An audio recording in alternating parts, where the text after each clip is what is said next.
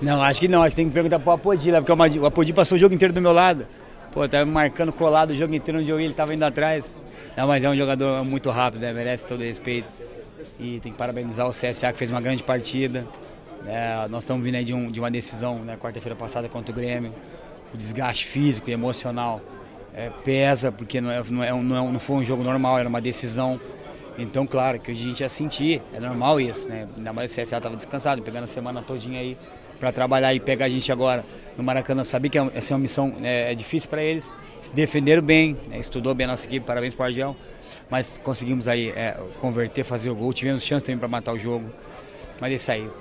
O importante é ganhar, né? não vai ser todo jogo que a gente vai fazer dois, três gols, então a gente está feliz por ter, por ter vencido a partida. É, já passou, né? Isso aí a gente chegou a quantidade de pontos dele, eles são que esse campeonato está tá sendo também muito difícil, né? Porque você pode ver, está faltando 10 dados, como você falou, a gente já atingiu essa pontuação e os outros times também estão perto da gente. Né? Isso aí significa, acho que para nós a gente tem que pensar em continuar ganhando, né? fazer o maior número de pontos possíveis, porque é um campeonato largo, falta muito ainda, né? não tem nada decidido, falta muita coisa ainda.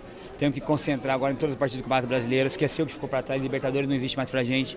Agora é Campeonato Brasileiro, focar total aqui, porque vai ser difícil até o final. Rafinha, o ideal para o Flamengo é manter essa pegada, né? O time está tentando, está jogando com muita disposição, mesmo com o desgaste físico. Mas o ideal para o Flamengo é tentar fazer o máximo possível para conquistar esse brasileiro antes da final do Libertadores?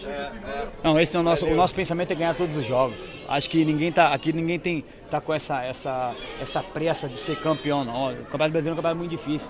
A gente tem que respeitar todos os adversários né, essa pressa para ser campeão não, não existe, isso aí não convém nem cola com a gente agora. A gente tem que concentrar todos os jogos, saber que todos os jogos vão ser difíceis, vão ser, vão ser jogos difíceis até o final. A gente tem que manter essa pegada, jogo por jogo, pezinho no chão, sem ficar falando muito, concentrar no máximo, que como vocês viram aí hoje, CSA não está muito bem na tabela, mas aí deu um trabalho para a gente hoje, teve chance de matar o jogo também, teve boa chance contra a gente, mas é isso aí, estamos concentrados, descansar agora e quinta-feira tem mais.